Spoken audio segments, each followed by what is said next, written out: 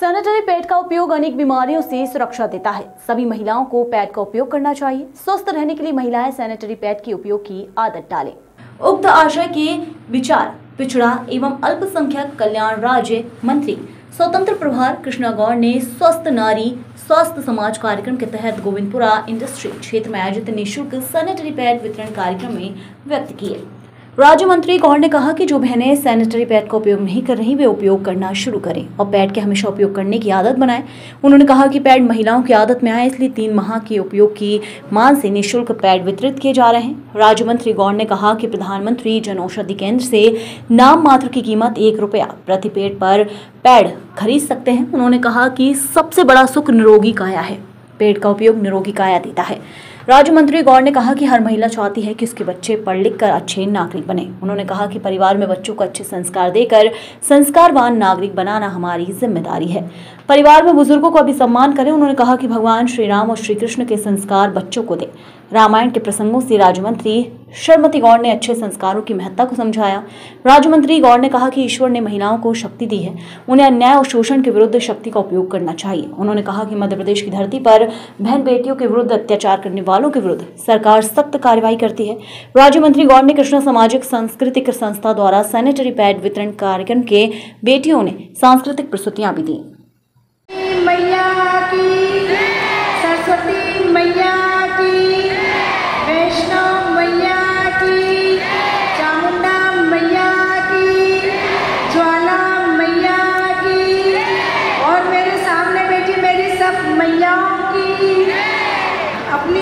हमको करना ही है, क्योंकि दुनिया कर रही है हमारी जय।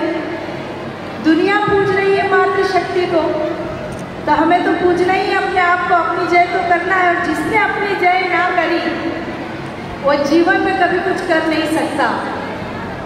क्योंकि ईश्वर ने बहुत शक्ति महिलाओं में प्रदान की है।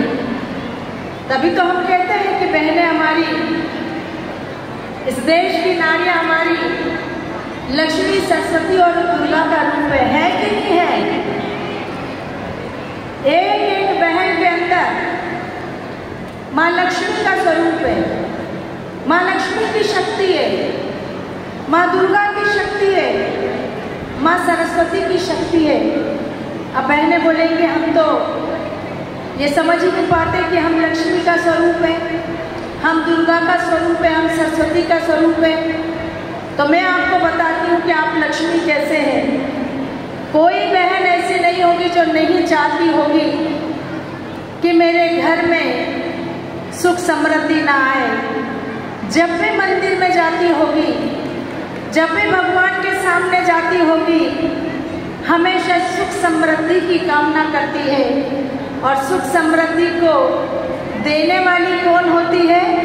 माँ लक्ष्मी होती है। तो घर में अगर समृद्धि आएगी तो वो आपके कारण आएगी, क्योंकि आप लक्ष्मी का स्वरूप हो। हर बहन ये चाहती है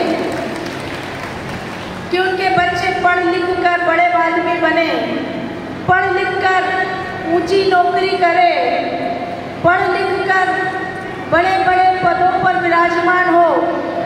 और वो इसलिए चाहती है क्योंकि उसके अंदर माँ सरस्वती का स्वरूप है। वो बच्चों को संस्कार देती है, वो बच्चों को शिक्षित करती है, वो खुद भले ही ना पढ़ी हो, लेकिन यहाँ बैठी मेरी एक एक मात्र शक्ति ये जानती है, चाहती है कि मेरा बच्चा पढ़ना चाहिए, मेरी बेटी पढ़ना चाहिए, मेरा बेटा पढ़ना चाहिए। मैं अशिक्षित रह गई, मैं ना पढ़ पाई, लेकिन मेरे बच्चे अशिक्षित नहीं रहना चाहिए। चाहती है कि नहीं? सारी बहनें चाहती है इसलिए आप सरस्वती मैया का स्वरूप हो। और यहाँ बैठी मेरी एक एक मात्र शक्ति दुर्गा का स्वरूप है। और दुर्गा का स्वरूप कैसे?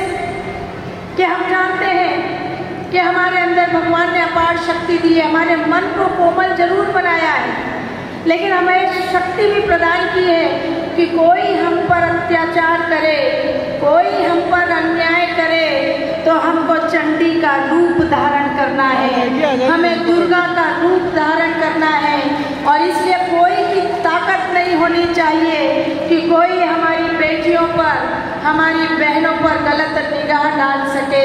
हमको अपने अंदर की दुर्गा की शक्ति को जागृत करना है।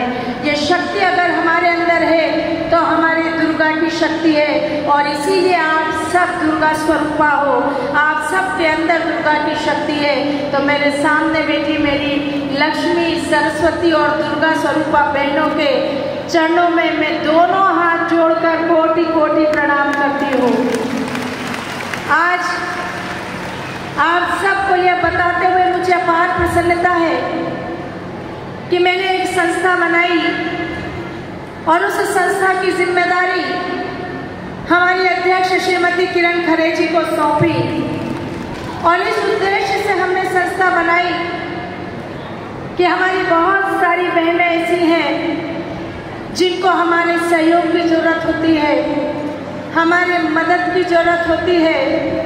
अपने कामों के माध्यम से तो हम जितनी बहनों तक पहुँच सकते हैं, पहुँचते हैं, लेकिन जहाँ तक हम नहीं पहुँच सकते वहाँ हमारी संस्था की बहनें पहुंचकर उन बहनों की मदद करने का काम करें, उनकी सहायता करने का काम करें। बहनों का